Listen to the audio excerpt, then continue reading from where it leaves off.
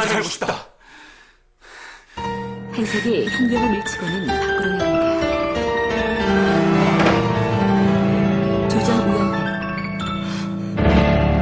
이한석 씨께서 부인 김형영 씨를 상대로 해서 이혼 조정을 신청하셨는데요. 그 이유가 뭡니까? 전 이 사람이 버겁습니다. 저하고는 맞지 않아요. 좀 더 구체적으로 말씀해 주신다면요?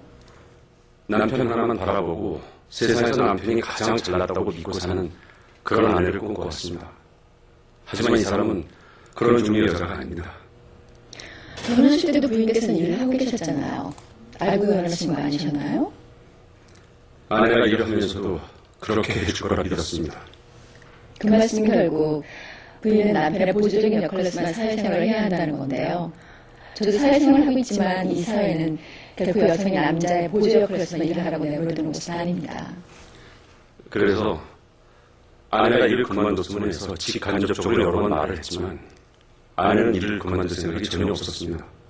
부인께도 꿈이 있고 사회적인 성취라는 게 있는데 남한테 일을 그만두란다고 그만둘 수 있겠습니까?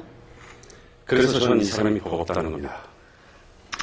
아니, 근데 부인께서는 남편이 이혼까지 생각할 정도로 스트레스를 받고 있다는 걸 모르셨나요? 몰랐습니다. 이 사람과의 문제를 생각하기 전에 시댁과의 갈등이 저에게 너무 컸습니다. 그것도 이 사람의 잘못이 큽니다. 이 사람은 늘 전업주부인 효수님을 무시했습니다. 무시하지 않았습니다. 저도 주부인데 왜 주부들을 무시하겠어요. 다만 제 일을 좀 더 이해해주고 배려해주길 바랬을 뿐입니다. 처음엔 효수님들도 많은 배려를 했습니다. 하지만 제사 때마다 명절 때마다 늦게 나타나 돈 봉투만 내면 그런 동서를 누가 좋아하겠습니까?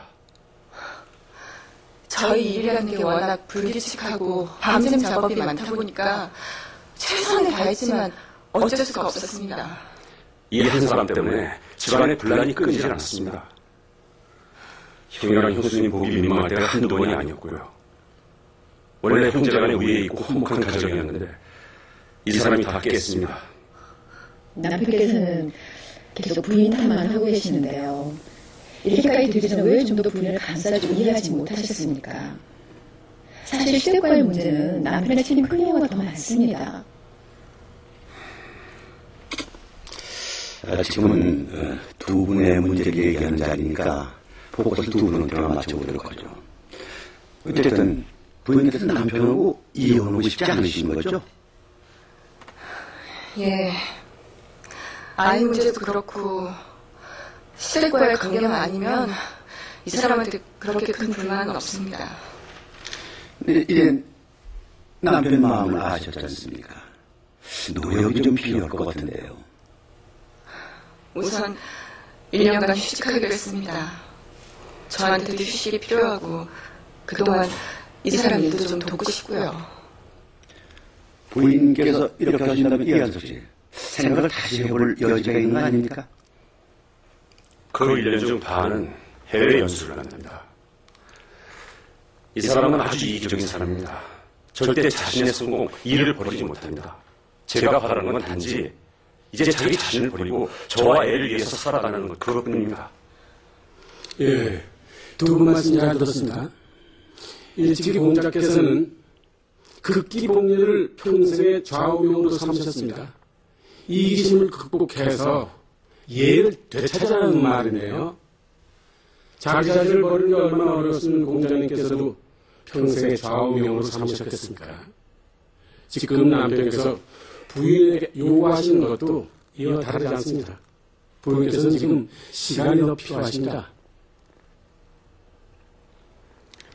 예, 그리고 부인에게도 똑같은 말씀을 드리고 싶습니다.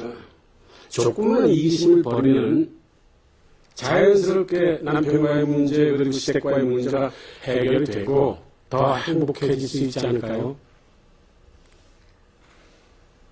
네, 잠깐 하시던 일을 놓고 자신과 가족을 되돌아보는 시간을 가질 수 있다면 앞으로 김혜영 씨가 하시는 일에도 크게 도움이 되리라고 생각을 합니다.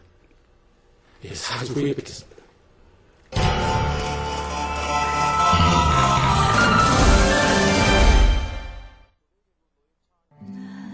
지난주 방송된 제303화 종갓집 며느리 편의 시청자 배심원이 내린 판결 결과입니다.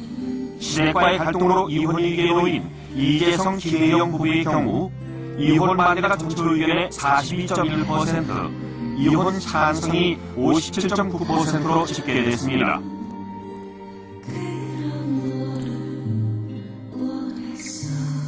프로그램 제작에 도움을 주신 분들께는 정철 영어 주니어에서 사문화 상품권, 행복 아파트 신일 해피트리에서 국민 관광 상품권, 신원 아침 도시에서 컴퓨터, 주식회사 감투에서 드럼 세탁기, 투명한 세상 퀸이 화장품에서 백화점 상품권, 주식회사 화진 화장품에서 29인치 평면 TV를 드립니다.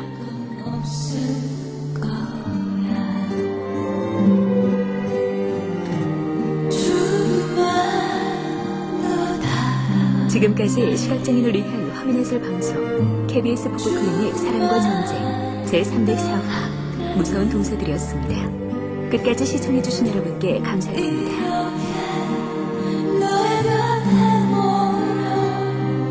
내가 원